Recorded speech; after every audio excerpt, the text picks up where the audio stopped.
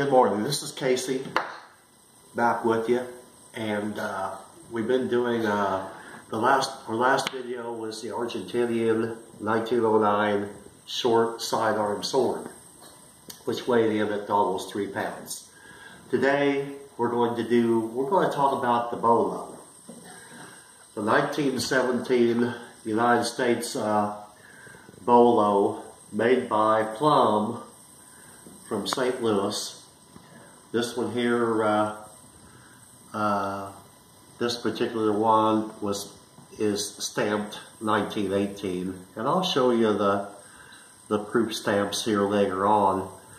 But I'd like to back up a little bit and give you a little bit of a history on the bolo knives and where they have uh, originated from. the uh, these bolos are straying out of the, uh, the Philippines, influenced by the Philippines during the Philippine insurrection in which uh, Blackjack Pershing was assigned to quell the insurrection.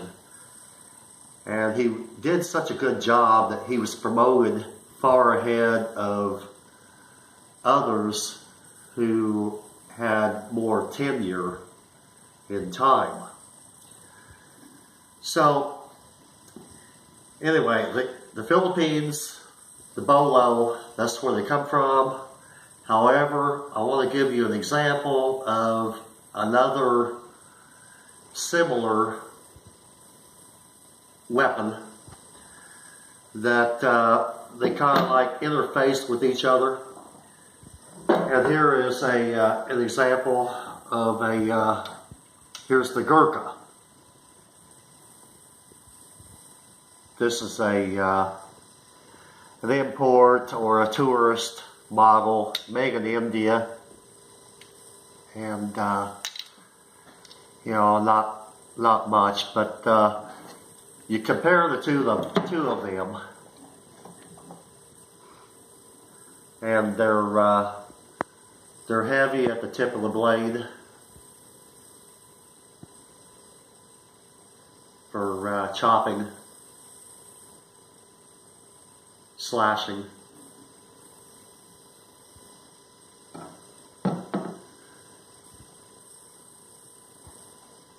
Anyway, a lot of the bolos that I have seen out of the Philippines in pictures are similar to the, the Gurkha.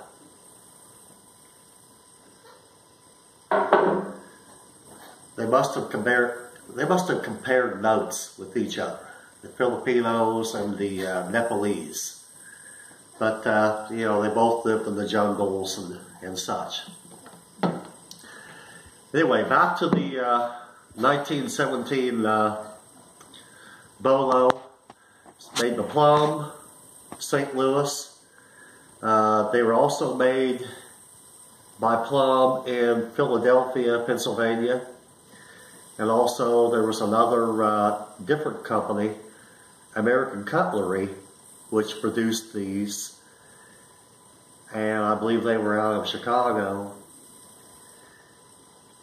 There are about four predecessors that I can find to the 1917 Bolo.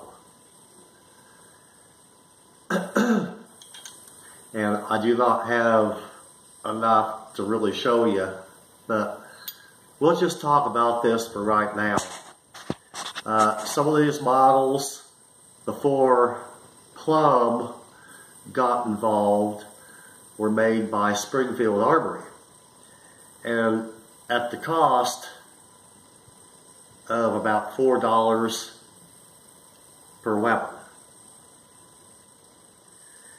Now, Plumb got into the business, and this is where the CT comes in from.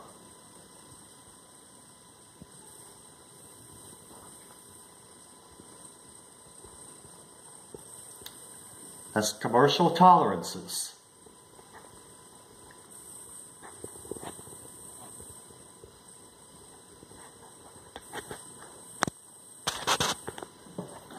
Okay. Mary Sue is helping me here.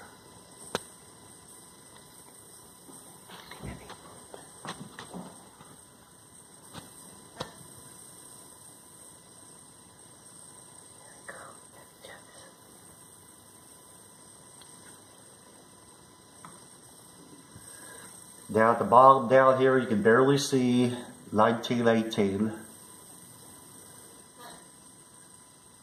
The year it was made. You can see how the, the hilt has been brazed onto the, uh, the blade and the tang. The blade and the tang are all one piece, as well as the pommel.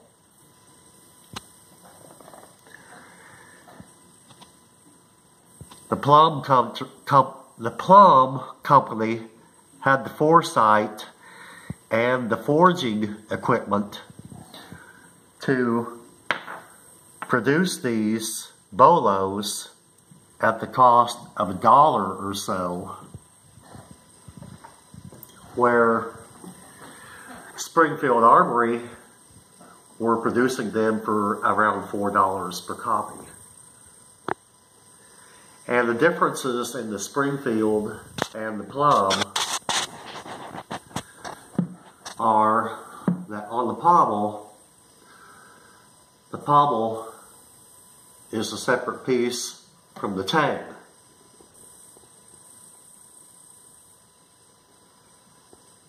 The pommel was brazed onto the tang And here comes Plumb, and they forged the pommel right onto the tang, all one piece. Makes it a lot better and cheaper to produce. And then, of course, they brazed the hilt onto the tang.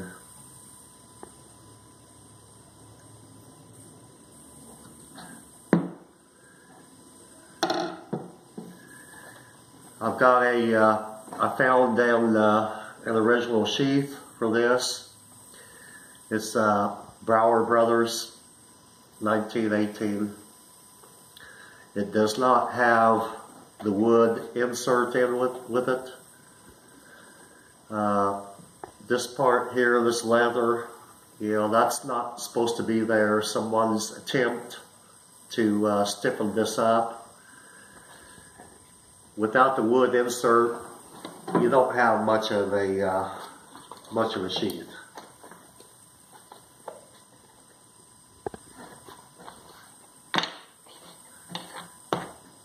You can buy reproductions of these from Sarco and other companies.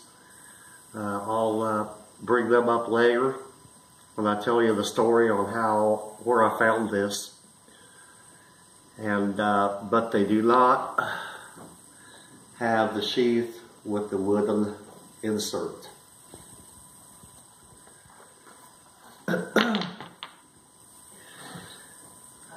this particular one, if we could get a close up, I hope you can see this. Someone made an attempt at putting a, uh, a blood groove in here real crudely.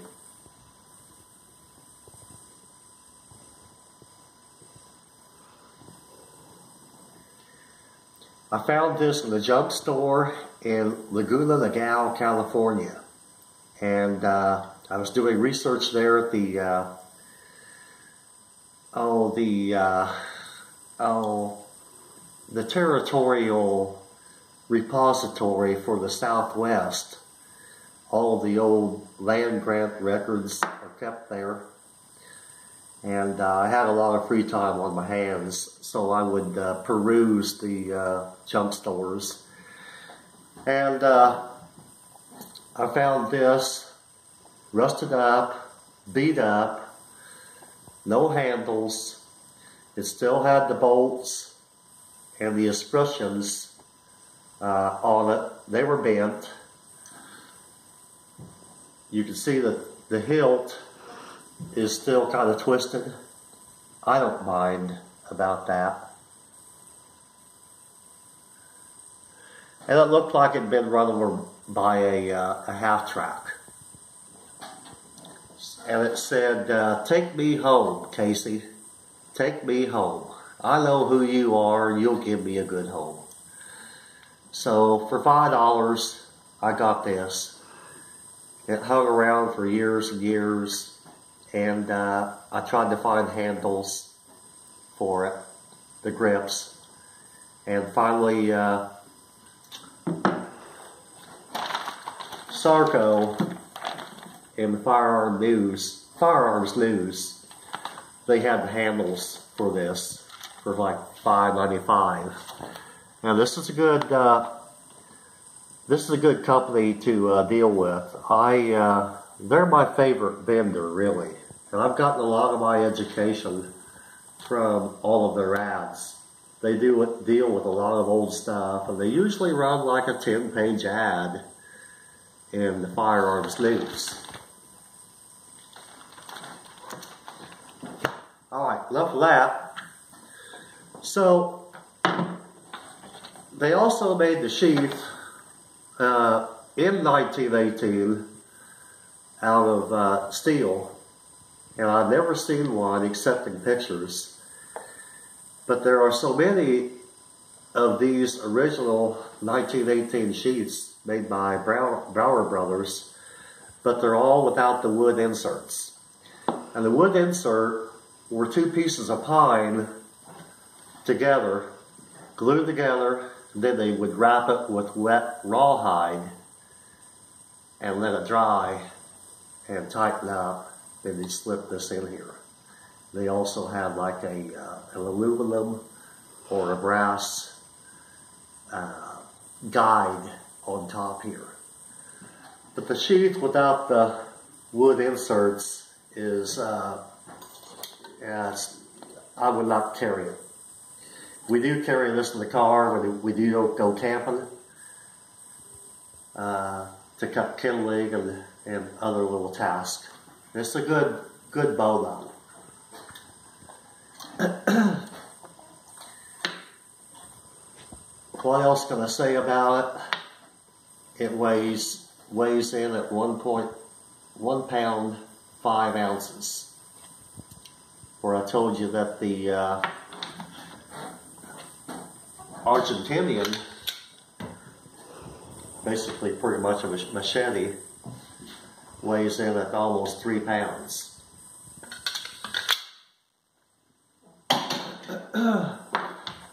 I'd prefer to carry this than I would uh, the Argentinian short sword.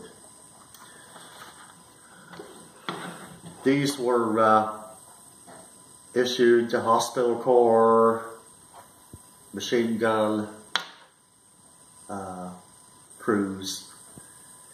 And uh, there were uh, quite a few of them made. Up until the 1970s, we still had these in our inventory of weapons. And I don't know where a lot of them went, you know, probably, you know, I do know that Arizona Game and Fish in the 80s had these in the floorboards of their trucks with the uh, with the wood uh, bouncing around. So it might have been a intergovernmental uh, thing, but uh, up until the 70s, these were, these were still in our arsenal. Now, the Japanese in the 60s and the 70s come out with a copy of this.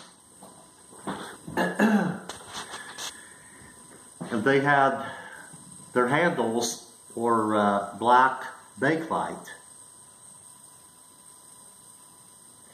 They sold for about five dollars at uh, camping stores and other Sunday stores. And you can identify them and you can see that how they copied some of our stuff and that they used black Bakelite for the handles. And I'll show you similarities. Here's our, uh, here's the 1942 machete, 18 inch blade, comes in just underneath of a pound. And the Japanese bolo has the same Bakelite black grips. It's got three rivets on it instead of two bolts. That makes it easily uh, identifiable as, uh, you know, one of their imports. But they copied our handles off of our machete.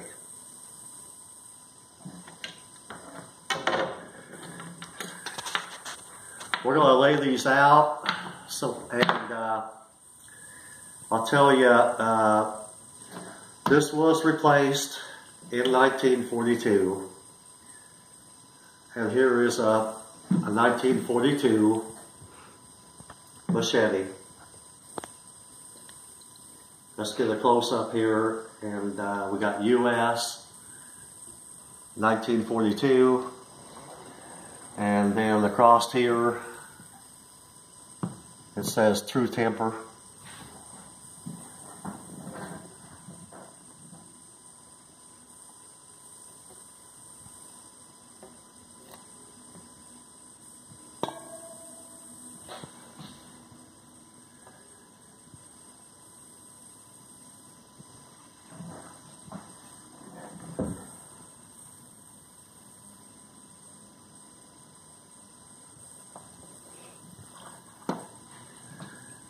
Also, here is the sheath that would have gone along with this machete.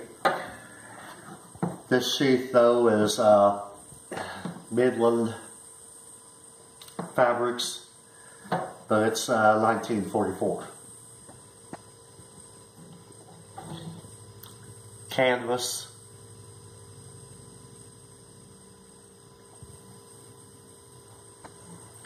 Flexible. You can tell the sheath has kind of shrunk a little bit throughout the years in that the machete will not go all the way in.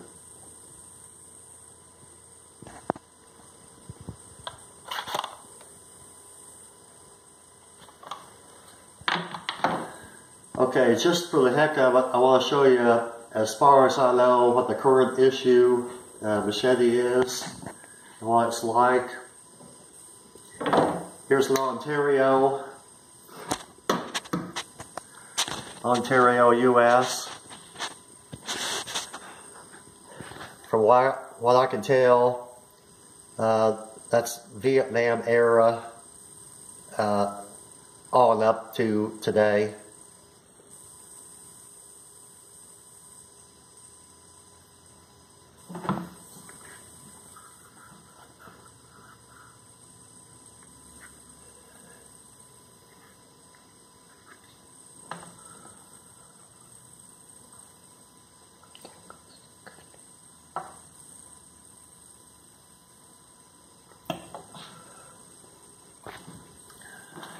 See the difference how they changed the handles from World War II to uh, to present.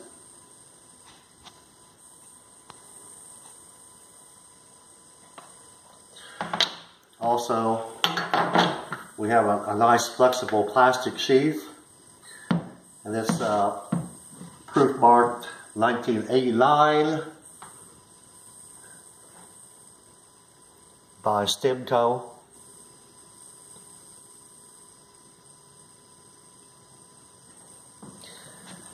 You have a built-in sharpener here.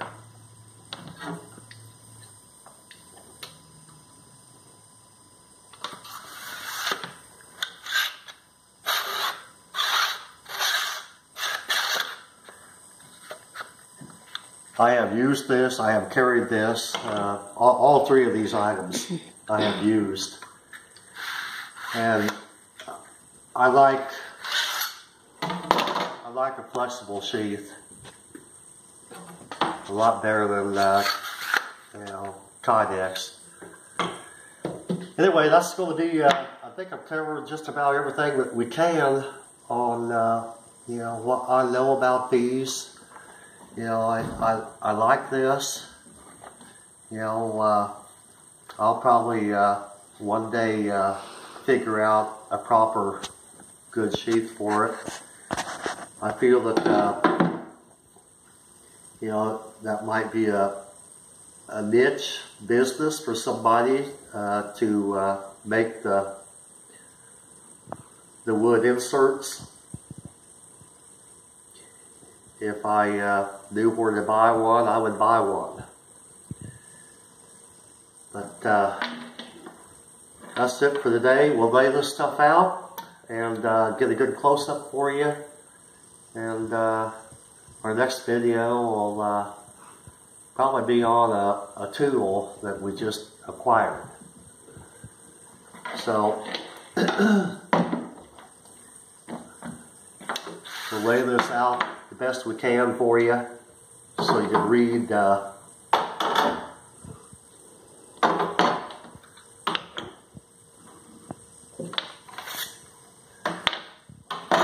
everything on it.